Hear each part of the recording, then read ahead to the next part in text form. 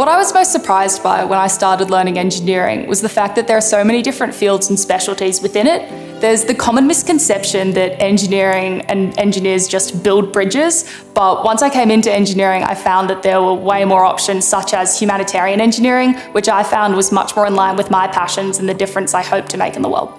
Humanitarian engineering is all about people, and it's about putting people at the centre of our problem solving process. I would explain humanitarian engineering as a process that not only focuses on the end user and what their struggles are, but also tries to engage the end user. It's diverse, it's always challenging, but it's really enriching.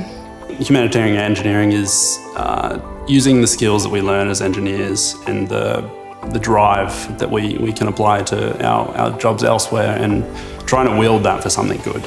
Engineers should always be aware of who's going to be using their products.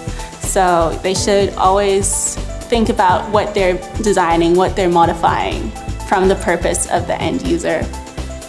Uh, I think engineers are in a really good position to improve uh, the quality of life and, and, improve things in society, primarily because we are the applicators of what science discover.